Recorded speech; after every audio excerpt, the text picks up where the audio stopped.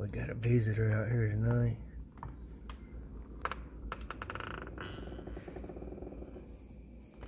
Hey, bud.